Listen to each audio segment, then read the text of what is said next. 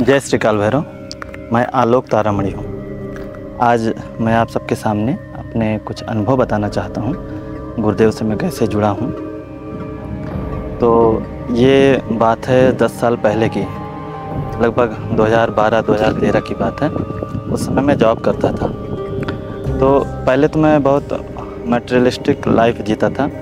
मुझे अध्यात्म के बारे में बहुत ज़्यादा ज्ञान भी नहीं था। अचानक से मुझे प्यास जगने लगी कि जानूं कि अध्यात्म है क्या। मेरे अंदर प्यास उठने लगी ईश्वर को जानने की, ईश्वर को समझने की। हमेशा मेरे अंदर एक तड़प सी बनी रहती थी कि कैसे मैं अपने आप को जान पाऊँ, कैसे मैं ईश्वर के सानिध्य में रह पाऊँ। तो मैं खुद से ही प्रयास किया करता था और जब मैं अपने कमरे में होता तो मैं कमरे बंद कर लेता था, अपना लगभग एक एक हफ़्ते में किसी से मिलता जुलता नहीं था।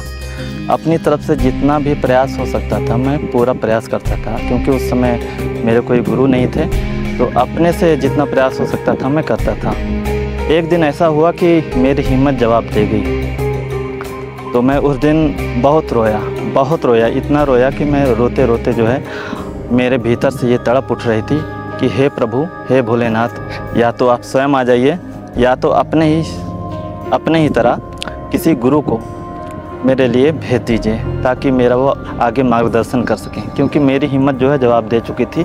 मैं आगे कैसे बढ़ना था, उस चीज़ को समझ नहीं पा रहा था बिल्कुल भी। तो रोते रोते कब मैं सो गया, कुछ पता भी नहीं चला। और उसी के लगभग एक हफ़्ते के बाद गुरु जी से ही सीधे जो है मुलाकात हुई, बात हुई उनसे। तो उस समय हरिद्वार में एक शिविर लग रहा था। तो गुरुजी ने बताया कि आइए, वहीं पे मिलते हैं शिविर में। तो उस समय शिविर में पहुँचने के लिए मेरे पास पैसे भी नहीं थे पर्याप्त। तो गुरुजी ने कहा, पैसे की चिंता मत करो, तुम आ जाओ बस। तो मैं वहाँ पहुँचा और जब मैं वहाँ पहुँचा, मैं देखा गुरुजी को तो देख के एकदम स्तब्ध रह गया। ऐसा लग रहा था कि जन्मों जन्मों से जैसे मैं गुरुजी से जुड़ा हूँ और देखता ही रह गया उनको। उनको देखते ही मेरे आँसू अपने आप छलक पड़े। और गुरुजी भी मुझे देखते ही रह गए। बस उसी आँसू के माध्यम से जो है, गुरुजी भी समझ गए और हम भी समझ गए कि यहाँ जो नाता है वो जन्मों जन्मों का नाता है। और पहली बार गुरुजी से मिलने के बाद ही जो है, हमने उनको अपना गुरु गुरु मान लिया और वो भी मुझे स्वीकार लिए। हालाँकि मेरी बहुत परीक्षा हुई। बहुत परीक्षा होने के बाद बहुत समय बाद मेरी जाके दीक्षा हुई। दीक्षा होने के बाद गुरु जी के माध्यम से जो भी साधना प्रदान की गई थी, जो भी ध्यान विधि प्रदान की गई थी, वो मैं अपना निरंतर करता रहता था और उसके माध्यम से बहुत सारे अनुभव भी मुझे मिले।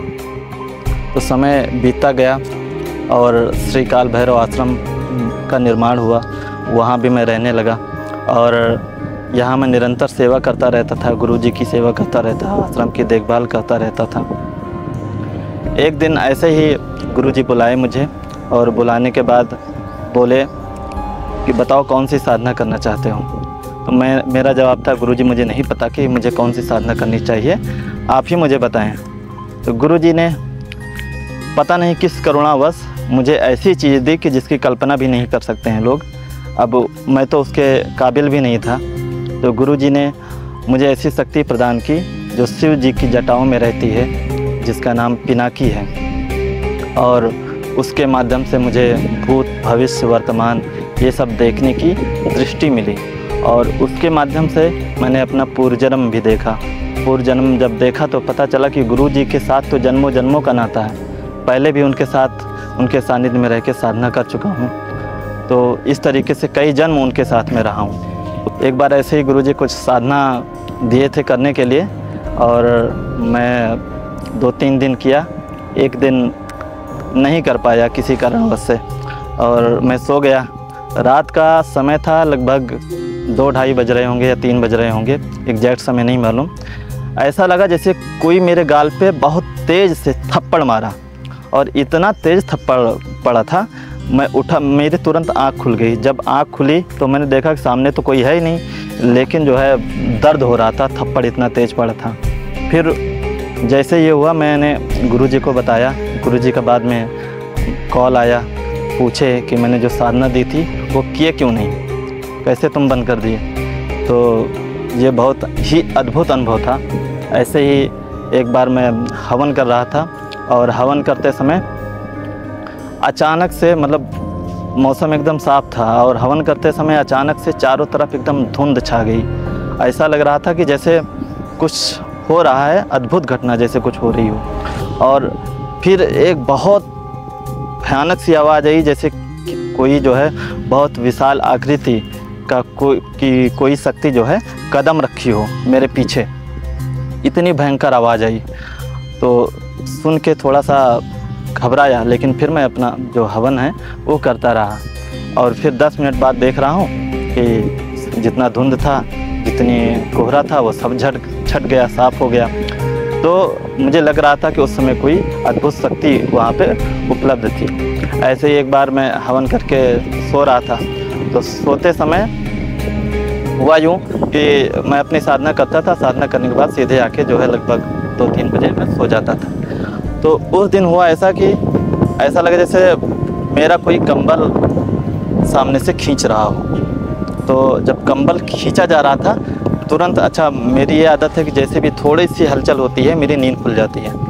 मैं जग गया और तुरंत उठ के देख रहा हूँ, कोई है ही नहीं और कंबल मेरा जो है पूरा खुल गया था। तो मैंने सोचा, ठीक है, कोई नहीं, मेरा वहम होगा। फिर मैं सो गया।